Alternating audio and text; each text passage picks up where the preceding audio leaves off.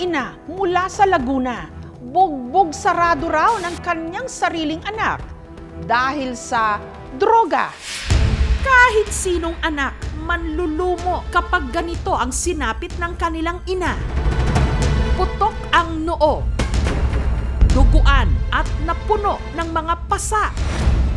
Namamaga ang mga mata at ang mukha. Nagulat na ako, bigla na ako naiumpog. Na nakita ko na sinusuntok na ako kahit nga po yung ngipin ko basag. Ang biktima, ang 50 anyos na si Sonia. Ito ang dapat sa'yo! Ang pambubugbog sarado sa kanya nangyari sa sarili pa niyang tahanan sa Kalawan, Laguna. Hindi pa rin po nawawala ang pasa. Natakot po ako umuwi sa amin. Kahirap pong intindihin. Mas maigi pong sinaktan ako ng ibang tao, ginilipay ng kahit sino. Hindi pa masyadong masakit yun. Ang salarin, sarili rin niyang dugot laman. Walang iba kundi ang kanya mismong anak.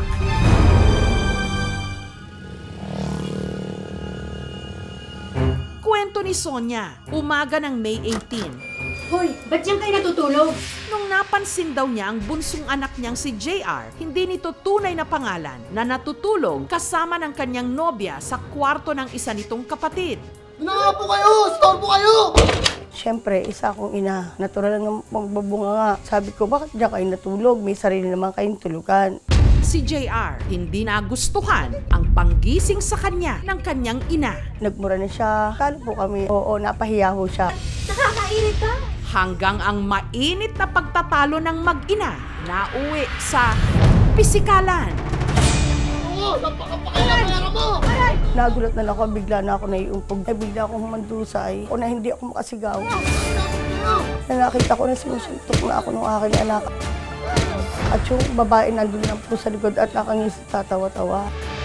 Lamog po talaga. Umalat po pati yung buhok ko, eh, punong-puno ng dugo. Kahit nga po yung ngipin ko basag, nabungi nga po ako ngayon.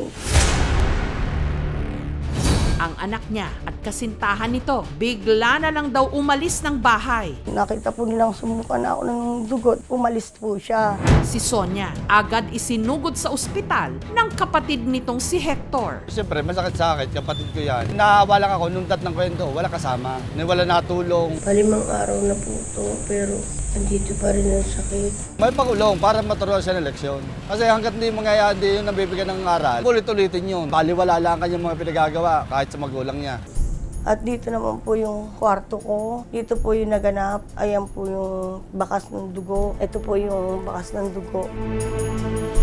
Ilang araw makalipas ang insidente, si Sonia nagpapagaling ngayon sa bahay ng kanyang kapatid. Yung sugat po, unti-unti yung nawawala. Pero yung sakit dito, bilang isang ina, hindi mawala-wala.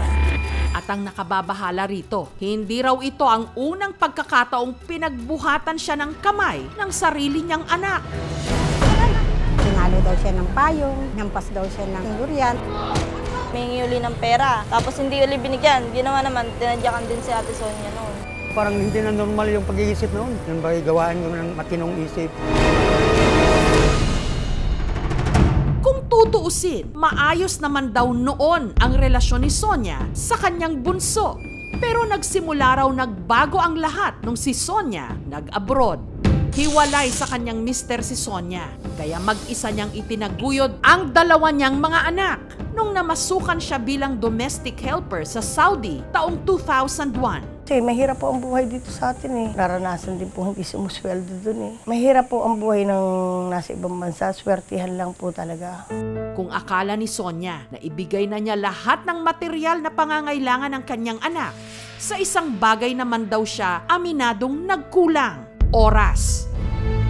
Makalipas ang tatlong taon ng pagtatrabaho abroad, umuwi na siya ng Pilipinas para dito na lang magnegosyo.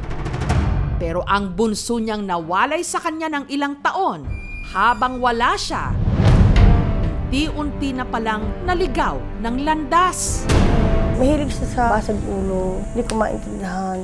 Ang pinakamasakit pa rito, ayon kay Sonia, nadiskubre niya na ang kanyang anak, di umano, nalulung na sa ipinagbabawal na gamot. Ang gusto nila ipakulong. Ang ginawa ko po, sige, papa, rehab po na lang po. Bumuti naman daw ang lagay nito, kaya kinalaunan nakalabas. Pero hindi nagtagal, bumalik na naman ito sa dating gawi. At mas lumala pa raw ang sitwasyon. Dahil nakuha na nitong saktan ang sarili niyang ina. Hindi ko po napalo yan, pero siya ang nananakit sa akin.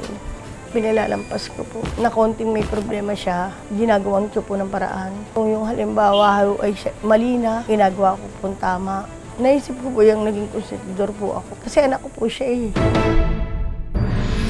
Hanggang nangyari na nga ang pambubugbog sarado kay Sonia. punishable by law because VAUSI Act is a crime. Pwedeng physical, pwedeng sexual, psychological, at economic.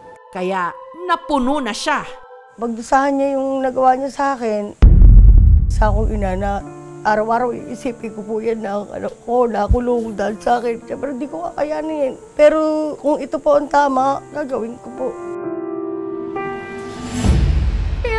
Nasaan na nga ba si JR? Sagutin ka nga lang ng anak, masakit na. Yun pa kayang saktan ka? Ipakulong mo. Ipakulong mo na yan. Huwag ka nang maawa sa ganyang klaseng anak kahit pa sabihin mo nalulong. Nitong Webes, si Sonia at ang kanyang bunso ipinatawag sa barangay. Ayon po sa medico legal, pumasok siya sa slight physical injury. Kung mapapatunayan siya dun sa kasong iyon, pwede siyang mangulong ng 1 to 30 days. Pwede siyang uh, makasuhan sa violation ng 9165 pag napatunayan siya na nagamit ng illegal na droga. 12 to 20 years na pwede siyang pangulong doon. Sisipot kaya si JR? Inaantay kita. Handa na ba si Sonia na makitang muli ang sariling anak na nakuha siyang saktan? Hihingi po siya ng patawad, nagdilim po daw ang paningin niya, pasensya na. Kahit siya din daw po araw-araw lumuluha dahil nagawa niya po sa akin to. Lumambot kaya ang pusong ina ni Sonia? Ang gusto lang namin din ay magkausap. Ang mga kasagutan sa aming pagbabalik. Malimang araw na po pero andito pa rin yung sakit. Isang ina sa Kalawan, Laguna, bugbog sarado ng sarili niyang anak. Nagulat na ako, bigla na ako naiumpog. Na nakita ko na sinusuntok na ako. Kahit nga po yung ngipin ko basag. Masakit po. Bilang isang ina, parang napakahirap pong intindihin. no. Mas maigi pong sinaktan ako ng ibang tao, ginilpe ng kahit sino. M- Hindi pa masyadong masakit yun. Hanggang nito lang Webes, ipinatawag sila sa barangay. Maaga pa lang si Sonia nasa barangay hall na. Magbago na siya, makulong siya. Pero si JR, Natakot po ako umuwi sa amin. missing in action. Papatagpo po natin uli ng dalawang beses pa po.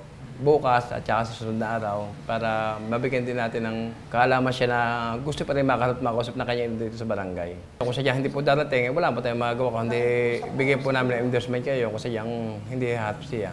Walang ideya si Sonia kung saan nagtatago ngayon ang kanyang anak. Pero isang araw bago raw ang nakatakda sana nilang harapan, nakatanggap siya ng text mula rito. Nangihingi po siya ng patawad, nagdilim po daw ang paningin niya, pasensya na. Sinubukan ni Sonia na tawagan si JR hanggang sa sumagot ito. Mag-uusap nga din sa barangay para mapag-ayos, mapag-usapan kung ano naging problema niyo. Walang ina na nagkwento ng masama sa anak.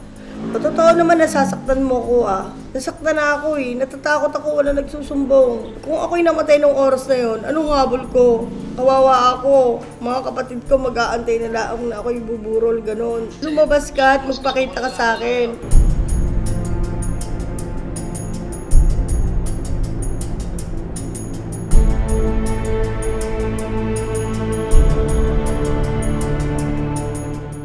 Na, awa nasasaktan, pero gusto ko pa rin makulong siya. Para pagbayaran niya kung anong ginawa niya.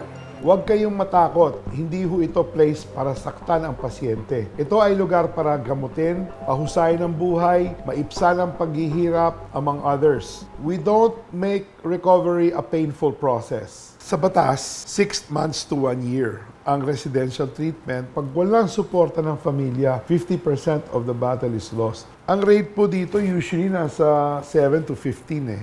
Pero kung talagang walang kakayahan, libre yan. Samantala, para masiguradong ligtas si Sonia sa kanyang tahanan, ang barangay nag-issue ng Barangay Protection Order. Hindi pwede lumapit sa kanya yung kanyang anak. Po yung mga kalap naming ebidensya, yun po ay makakarating po sa korte. Dahil sa dinanas na trauma sa nangyari, inilapit ng aming programa si Sonia sa isang psychologist. Ang nakikita ko kay nanay ay meron siyang post-traumatic stress disorder. Isinasuggest ko ngayon ay both mag-psychotherapy siya and medication. Both makakatulong yun sa kanya para mas maibalik niya yung, yung dating sigla ng buhay niya. Oo, may pagkukulang din ako. Isa akong ina, minsan din may pagkakamali. Naamin ko po yun. Pero hindi po para ako saktan. Hindi naman po ako matamot na ina. Binigay ko naman po. Ang inaano ko lang po, yung nangyari sa akin ngayon, hindi ko po matanggap-tanggap. Ang nangyari kina Sonia at ng kanyang anak, ang sinasabing social cost ng pagiging OFW ng marami nating mga kababayan. Kasabay ng paglayo ng kanilang mga magulang, ang paglayo rin ng loob ng kanilang mga anak. Totoo rin namang walang perpektong pamilya. Ang hindi katanggap-tanggap na humantong ang mga problema sa pamilya sa sakitan dahil ang tunay na pagmamahal at pagmamalasakit hindi nananakit.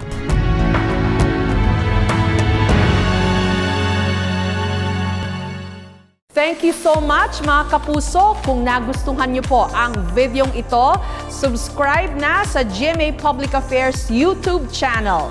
Don't forget to hit the bell button for our latest updates.